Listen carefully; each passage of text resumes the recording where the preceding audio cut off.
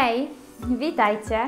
Jesteśmy dzisiaj na Poznańskiej Polance i z przyjemnością pokażę Wam najnowsze mieszkanie w ofercie Manufaktury Mieszkań.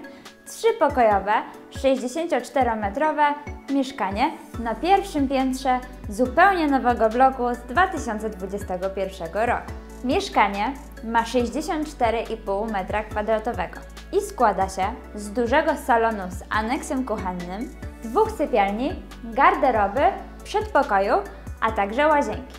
Do mieszkania dodatkowo mamy także balkon i miejsce postojowe w hali garażowej w tym samym budynku. Jak przekonacie się z naszego dzisiejszego filmu, mieszkanie wykończone zostało w stylu boho. Dominują tutaj kolory bieli, kremów, szarości. Jest tutaj bardzo przytulnie i mamy wiele designerskich dodatków, które razem stanowią idealną całość. I warto, żebyście zwracali na nie uwagę przez cały nasz film, bo naprawdę robią robotę.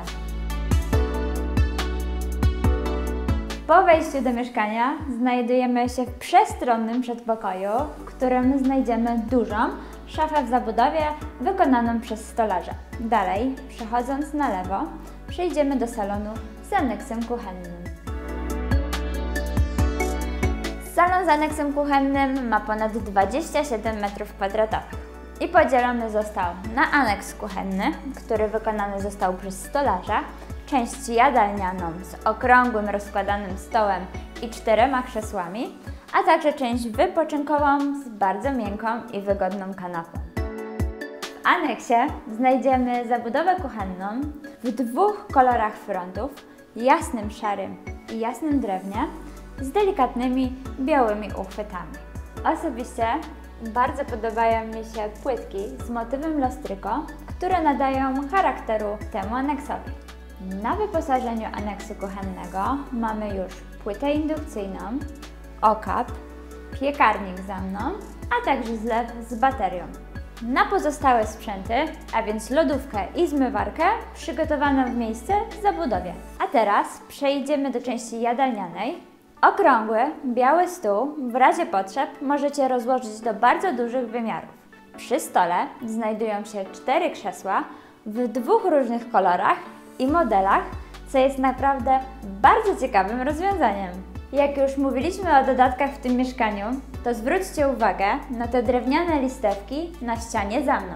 Są idealnym nawiązaniem do tych, które przedzielają nam przedpokój z wejściem do salonu. A obok tego znajdziemy dekorację w postaci imitacji betonu.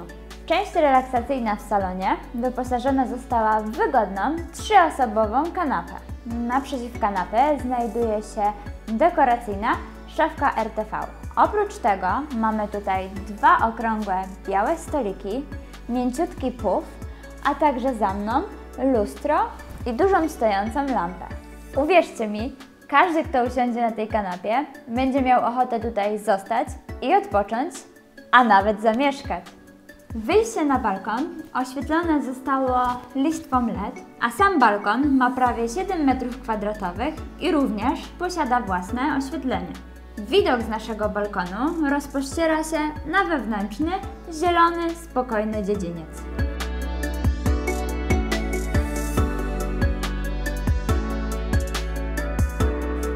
Salonu przechodzimy do pierwszej sypialni w tym mieszkaniu. Ma ona prawie 12 m2, duże okno do podłogi i jest w kształcie prostokątu. Dajcie znać w komentarzach, na co przeznaczylibyście to pomieszczenie i jak byście je urządzili. Czas na drugą sypialnię, delikatnie większą od pierwszej, bo ponad 12-metrową. Idealna na główną sypialnię w tym mieszkaniu, bo naprzeciwko niej znajduje się garderoba.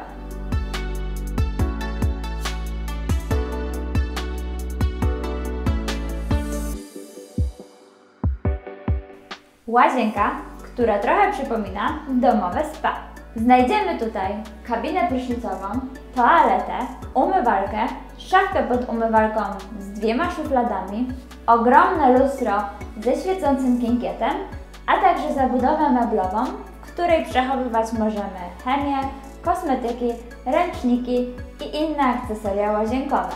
Pod zabudową znajdziemy miejsce przeznaczone na pralkę. Na koniec perełka, czyli moja ulubiona rzecz w tym mieszkaniu. Ozdobna tapeta w łazience, a także małe płytki w patchworkowym stylu. I jak? Podobało Wam się? Bo to już całe mieszkanie. Dajcie znać w komentarzach, co uważacie o boho stylu i tym mieszkaniu. A jeżeli lubicie nasze filmiki i lubicie być na bieżąco z naszymi najnowszymi ofertami, to subskrybujcie nasz kanał.